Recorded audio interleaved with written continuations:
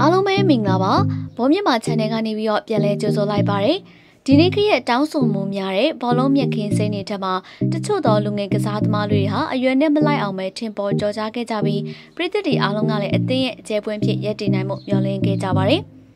ဒါပေမဲ့တချို့သောကစားသမားတွေဟာကြော်ကြားမှုအောင်မြင်မှုတွေကြားမှာနှမျောသွားတတ်ကြပြီးတော့ကစားသမားပေါ့တလန်ဟာလည်းဝေဝါးသွားတတ်ကြပါတယ်။အခုလည်းဒီလိုမျိုးကိစ္စတွေနဲ့ကြုံတွေ့နေရတဲ့ကစားသမားလေးတစ်ယောက်ရှိပါတယ်။သူကတော့စပါတင်ရဲ့ကွင်းလယ်ကစားသမားဒယ်လီအလီပဲဖြစ်ပါတယ်။အလီကိုတော့အင်္ဂလန်နိုင်ငံရဲ့တောင်ပိုင်းမြို့ငယ်လေးမီတန်ခီနက်စ်မှာမွေးဖွားခဲ့ပြီးတော့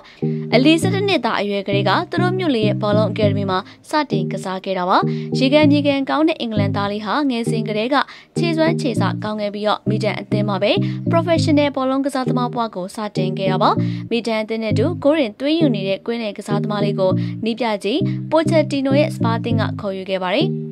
2015ခုနှစ်ကစပါသေးရဲ့အိမ်ကွင်း White Handling ကိုအင်္ဂလန်သားလေးတယောက်ရဲ့အရှင်ထဲမှာအိမ်မက်တွေအဖြစ်နဲ့စတင်ခြေချခဲ့ပါတယ်။စပါသင်းကိုပြောင်းရွှေ့ခဲ့ရတာဟာအလီတော်တော်အမှန်ကန်တဲ့အဆုံးဖြတ်ချက်တစ်ခုဖြစ်ခဲ့သလိုလက်တန်ကလပ်အတွက်လည်းအကျိုးများစွာဖြစ်ထွန်းစေခဲ့ပါတယ်။ ဘောလုံးအထင်းထင်းကောင်းမွန်ပြီးတော့နောက်ခံလူတွေကိုပရိရဲ့ကြွကြွနဲ့လဲစားနိုင်တဲ့အပြင်တိကျတဲ့ပေးပုံးမှုတွေကိုသွေးယူနိုင်စွမ်းတွေကိုလည်းအလီဟာအရွယ်နဲ့မလိုက်အောင်ပဲတည်ငြိမ်ရင့်ကျက်မှုအပြည့်နဲ့ပြသနိုင်ခဲ့တာဖြစ်ပါတယ်။ Harry Kane, Eriksen တို့နဲ့အတူစပါးတဲ့ရဲ့တိုက်စစ်ကိုဦးဆောင်ခဲ့ပြီးချန်ပီယံလိဝင်ခွင့်ကိုလည်းရရှိခဲ့ပြီး2019ခုနှစ်ချန်ပီယံလိဘိုလူပွဲထိရအောင်ပို့ဆောင်ပေးနိုင်ခဲ့ပါတယ်။စပါးတဲ့အတွက်ပွဲစဉ်ပေါင်း160ကစားပေးထားပြီးတွင်းကိုအရေအတွက်90အထိတွင်းယူပေးနိုင်ခဲ့သလိုအသင်းပေါ်တွေအတွက်လည်းဂိုးဖန်တီးမှုအကြိမ်33ကြိမ်ထိပြုလုပ်ပေးထားနိုင်ခဲ့ပါတယ်။အသက်အရွယ်ရငယ်ရွယ်သေးပေမဲ့လည်းဒီလိုမျိုးအထင်ကြီးစရာခြေစွမ်းခြေစားတွေပြသခဲ့ပြီးပရီးမီးယားလိတစ်နှစ်တာအကောင်းဆုံးလူငယ်ကစားသမားစုကိုရခဲ့တဲ့အထိခြေစွမ်းတွေတောက်ပခဲ့ပေမဲ့အလီအတွက်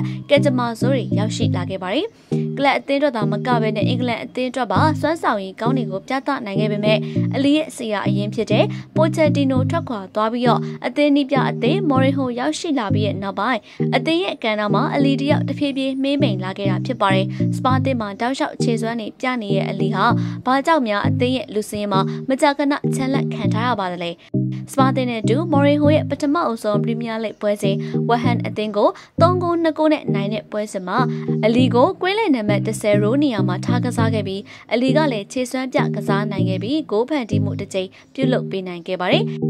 နောက်ထပ်လေးပွဲစတစ်တိအလီကိုပုံမှန်လူထွက်စင်းမှာဆက်လက်သုံးဆွဲခဲ့ပြီးတော့အလီကလည်းသူ့ရဲ့တာဝန်ကိုအကောင်းဆုံးထမ်းဆောင်ခဲ့တာပါဒါပေမဲ့အလီတယောက်စပါးတဲ့ရဲ့နောက်ပိုင်းပွဲစဉ်တွေမှာတော့အသင်းရဲ့အရန်လူစည်းမာတာပါဝင်လာခဲ့တာဖြစ်ပါတယ်။အစာပိုင်းမှာတော့စပါသင်းရဲ့ပြည်သက်တွေကအသင်းနီးပြရဲ့ကစားကွက်နီးပြူဟာကြောက်တာအလီမကစားရတာဖြစ်နိုင်တယ်လို့ယူဆခဲ့ကြပါတယ်။ဒါပေမဲ့အလီအတွက်ကံကြမ္မာဆိုးတွေကစောင့်မျှော်နေပြီးကိုဗစ်ကြောင့်ရနာထားတဲ့ဘောလုံးပွဲစဉ်တွေပြန်ဆချိန်မှာလည်းအလီတယောက်အသင်းရဲ့ပွဲထွက်လူစင်းကနေမကြာခဏချန်လက်ချင်းခံခဲ့ရပါတယ်။ဒီနေ့ရာသီပရီးမီးယားလိအဖွင့်ပွဲစဉ်အေဗာတန်နဲ့ပွဲပထမပိုင်းမှာလူစားလဲခံခဲ့ရပြီးကတည်းကအလီရဲ့အနာဂတ်ဟာအသင်းမှာဆက်ရှိဖို့မသေးကြတော့တာလည်းဖြစ်ကောင်းဖြစ်နိုင်ပါတယ်။ထိုအချိန်ကစပြီးတော့အလီတယောက်စပါသင်းရဲ့ပွဲစဉ်တွေမှာပွဲကြီးစင်ပေါ်ကနေသာပါဝင်ခွင့်ရနေရလဲဖြစ်ပါတယ်။ အလီလိုခြေစွမ်းကောင်းပြီးတော့အသင်းအတွက်အကျိုးပြုနိုင်တဲ့လူငယ်ကစားသမားကိုအသင်းရဲ့အရန်လူစေးမာတော့မှထည့်မထားတဲ့ကိစ္စဟာသတင်းမီဒီယာတွေထက်မှာတော့တဖြည်းဖြည်းနဲ့ကြီးထွားလာပါတယ်။ဒီကိစ္စနဲ့ပတ်သက်ပြီးနောက်ပိုင်း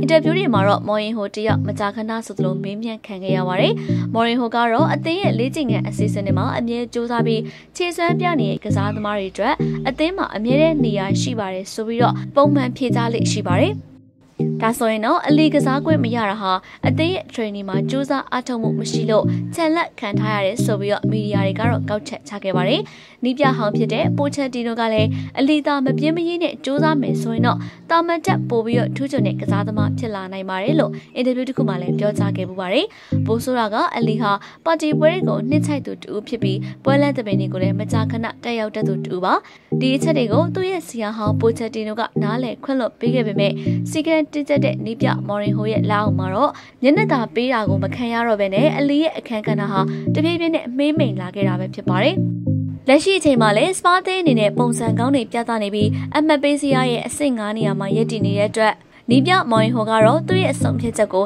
လွယ်လွယ်နဲ့တော့မပြင်နိုင်တဲ့အတွက်အလီဟာသူ့ရဲ့ရှေ့ရေးကိုသူကိုယ်တိုင်ပဲဆုံးဖြတ်ရတော့မှာပဲဖြစ်ပါတယ်။ တတစ်ချိန်ကစပါတင်ရဲ့ကွေးလယ်မှာတောက်ပါခဲ့တဲ့အင်္ဂလန်သားရဲ့အနာဂတ်ဟာအများကြီးရှေ့ဆက်ဖို့တော့ရှိနေသေးတာပဲဖြစ်ပါတယ်။အလီဟာအသက်အရွယ်အပြည့်24နှစ်သားရှိနေသေးတဲ့အတွက်ရှေ့ဆက်စ조사ဖို့အခွင့်အရေးတွေရှိနေပါသေးတယ်။လက်ရှိမှာလည်းဆီယာဟောင်းပိုချက်တီနိုဂိုင်တွင်ရဲ့ PSG အသင်းကအလီကိုခေါ်ယူဖို့အတွက်ရေးပန်အစားဆုံးဖြစ်နေပြီးဆီယာဟောင်းနဲ့တပည့်ကျော်တို့ပြင်သစ်မြေမှာပြန်လည်စုံစည်းသွားမလားဆိုတာကလည်းစိတ်ဝင်စားစရာကောင်းနေတာဖြစ်ပါတယ်။ဒါပြင်ပရီးမီးယားလိကောင်းငင်ရန်ဝန်ထက်မှတောက်ပခဲ့တဲ့အင်္ဂလန်ကျယ်ဝစ်ကစားသမားတယောက် မြခင်းစိမ့်တွေထက်မှလည်းတစ်ခါပြန်ပြီးတောက်ပသွားအောင်မလားဒါမှမဟုတ်အပြိုင်ဆိုင်များပြီးစီကံရှိမှုနေစနစ်ပိုင်းကျင်းညက်မှုတွေကိုတောင်းဆိုနေတဲ့ဒီဘက်ခေဘောလုံးရုံးမှာအလီတယောက်တချို့သောလူငယ်ကစားသမားတွေလိုပဲမိမ့်မိန်ကြောက်ွယ်သွားမလားဆိုတာကလည်းဘောလုံးပြည်သက်တွေနဲ့စောင့်ကြည့်သွားရမှာပဲဖြစ်ပါတယ်ဟုတ်ကဲ့ပါကျမတို့ရဲ့ဘောမြမှာ channel ကနေပြီးတော့အခုလိုမျိုးအကစားသတင်းနဲ့ပတ်သက်တဲ့အကြောင်းအရာတွေကိုစိတ်ဝင်စားဖွယ်တင်ဆက်ပေးမှာဖြစ်တဲ့အတွက်အားလုံးပဲစောင့်မျှော်အားပေးနိုင်ပါတယ်